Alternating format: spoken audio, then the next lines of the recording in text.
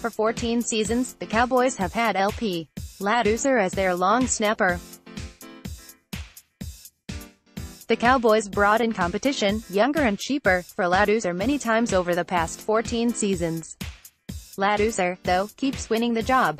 The 2014 Pro Bowler has never had a poor snap in his thousands of snaps. So it comes as nothing of a surprise that the Cowboys intend to re-sign Ladouceur for a 15th season, Calvin Watkins of The Athletic reports. Ladouceur, 37, made the minimum salary benefit last season, making $1 million in base salary and counting only $720,000 against the cap. He has made $6.61 million in his career.